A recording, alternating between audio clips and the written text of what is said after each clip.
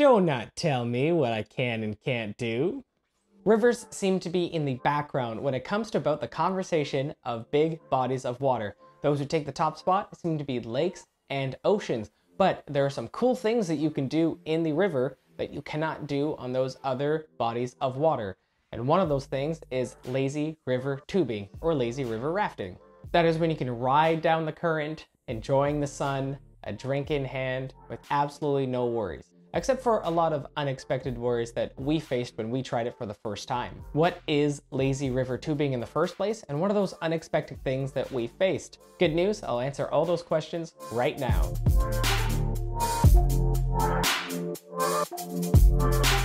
Welcome to my channel where I take on different challenges and adventures. I'll tell you my personal thoughts and experiences and hopefully encourages you to try new adventures yourself. Now, if that sounds like something that bakes your cake, maybe consider liking and subscribing, but let's talk about lazy river tubing. Now, what in the gosh darn is lazy river tubing in the first place? Being a Canadian who has lived near water, lakes, oceans, and dealing with snow, there are many different kinds of tubing. You might have heard of water tubing or just regular tubing where you're being dragged behind a boat and hopefully you're trying to stay on for your life. Very fun childhood moments with that. There's just normal hill tubing or snow tubing where you're at the top and you go down all the way to the bottom with your donut or with your tube. Or during the summer, you might find these water parks in which you're in your tube. Same concept, top, ooh, down to the bottom. Apparently something's called kite tubing, which I definitely want to see how it compared with kiteboarding. Lazy river tubing, or just river tubing, is very straightforward. You've got your flotation device, a donut, a pineapple, which is what we use, and you're just floating down the river, allowing the river current itself to push you into the direction that you need to go. Depending on the river, it might be very relaxing, or sometimes it might not be as lazy, which is why sometimes I just refer to river rafting. Because if the current starts to get strong enough, you're getting into river rafting category, or if it gets really, really bad and really dangerous, that is white water river rafting, which is not what you want to be doing with just a simple donut. You know, in water, when it starts to appear opaque and white, and you start seeing those white caps on the top of the water, if you see that in the entire river, or that entire section of the river kind of looks like that, there's a good chance that is white water. Rafting in certain sections can be fatal and dangerous. But that is why we want to do the lazy river rafting. Now, what's the difference? Usually your floating device is gonna be a little bit different. With rafting, you have this big, steady, fancy raft with oars and everything. Lazy river rafting, you hopefully you can just use some donuts, sit on it, and you should be good. To make sure if you're doing lazy river rafting or if you're doing whitewater rafting, definitely don't want to screw those two up. You can do a simple Google search and look for businesses because if there is whitewater rafting, either there's going to be no swimming or there's going to be a business that is selling some sort of white water rafting service. That sounds like something that interests you. I've links down below to Groupon that you can check this out for yourself. There are some businesses that do sell the lazy river rafting experience where you can rent out some fancy tube that looks way more like a raft. You have your paddles and then you kind of just enjoy the current and the experience. But I'm also going to be talking about the rebels, those who are like myself who didn't want to rent a relaxing experience, we wanted to get it the cheapest and see what happens. Do you want to try it yourself with some helpful tips, especially if you're one of those rebellious types that's just going to use a tube from the dollar store and just wants to make that experience a little bit more of the rafting than the lazy part. Here are a couple of tips and tricks for that experience. Step one, you need to find a popular river. Doesn't have to be super deep, like you can walk across the river. That's probably a good chance because then you can set up a lot better. If you look it up on Google, for example, and it's defined as a river, it has a current, which is what you need. It doesn't have to be extremely strong because, like I said, one of the downfalls is it is dependent on the river itself. If it's regularly used by the public for recreational purposes, such as swimming, that is a very, very good chance that it's going to be safe.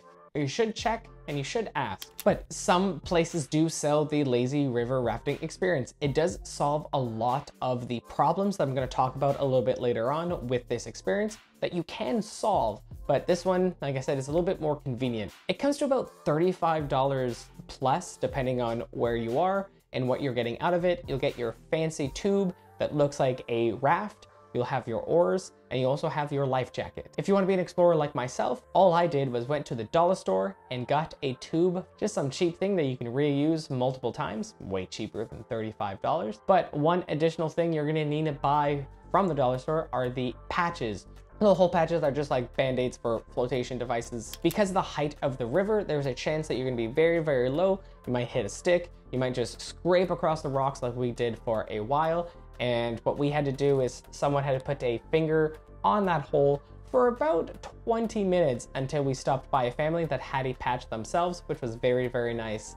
Thank you. But it is way more fun to use one of those dinky tubes because you have to dodge, you have to weave, you have to direct. You feel like an explorer going down this river. Now, what kind of tube do you want to get? What I recommend is a rectangular tube or one of them that does not have a middle in the bottom, which is like your traditional donut. The reason why is, is some rivers, like I said, the water's really low and you're gonna sit down and then your bum is just gonna scrape on the rocks and it's just gonna keep hitting the bottom. That's not really comfortable.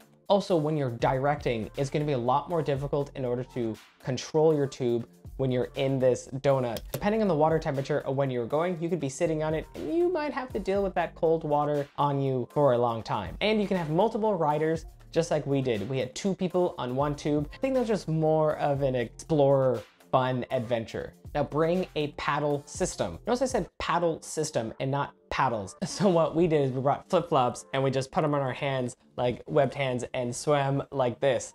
It actually worked really well, cost efficient, didn't really have to bring anything extra and it was really fun. You wanna figure out where you're starting and where you are ending because that is going to make a big difference. So here are a couple things you need to figure out. If you're gonna take public transportation, if you're gonna drive there, and if you are driving there, are you gonna drive at the start and then walk from the end back? Or are you gonna park in the middle?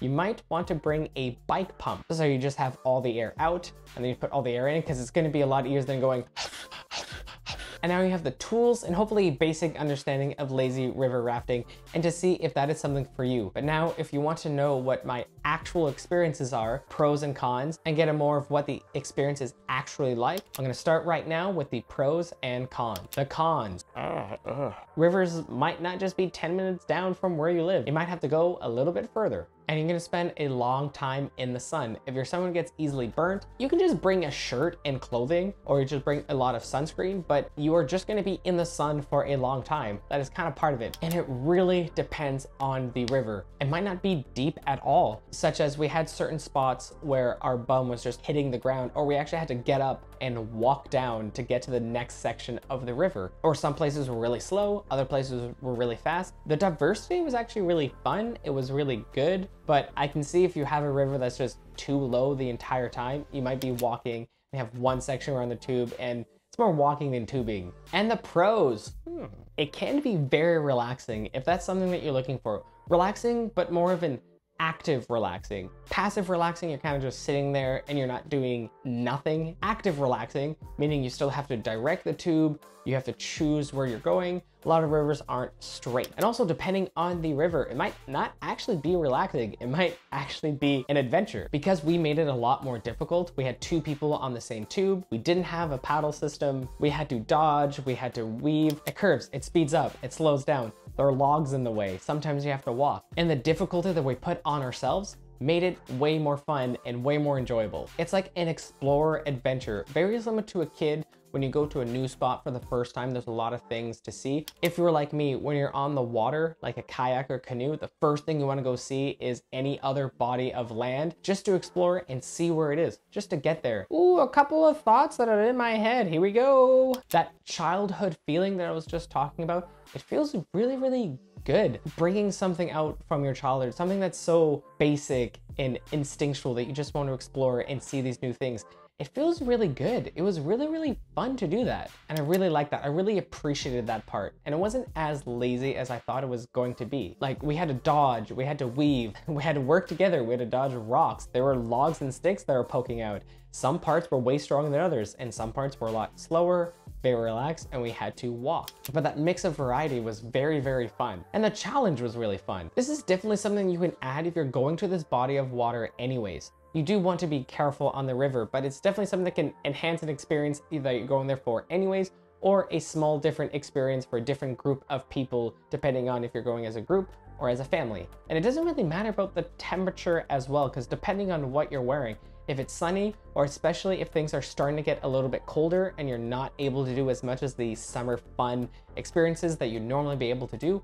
this is something we could just go back, find a different river, and experience this again. If you want to find adventures yourself, there are a couple links down below for Airbnb in Groupon, which is where I find most of my experiences and it supports me and I would really appreciate that, as well as a couple links of Amazon. So if you really want a little bit more high quality stuff, you can do that right here. Things like tubes, patches, just what you need. So that's my experience. What do you think? Have you tried it before? Are you gonna try it yourself now? Have any of you tried the paid version of this lazy river rafting? Or do you think you want something a little bit more extreme like white water rafting? I'm very curious and you can let me know down in the comments below or you can hit me up on social media and I will see you at the next adventure.